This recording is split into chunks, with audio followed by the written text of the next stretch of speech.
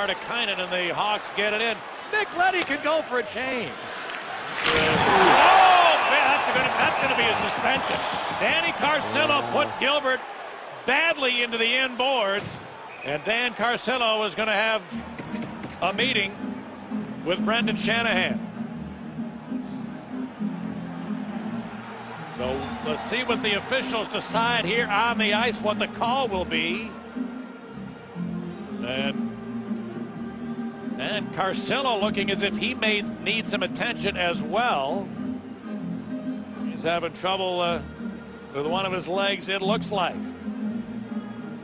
All right, we'll uh, update you when we come back. The Hawks with a one-goal lead.